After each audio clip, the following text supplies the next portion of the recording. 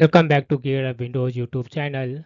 In this video, we will guide you on how to set Microsoft Edge as default PDF viewer on your Windows 10 PC. For this, select any PDF file and then right click on it and in the pop-up menu select open with and then click on this one choose another app in the window that opens, select Microsoft Edge and then check this one option. Always use this app to open .pdf files and then click on the OK button.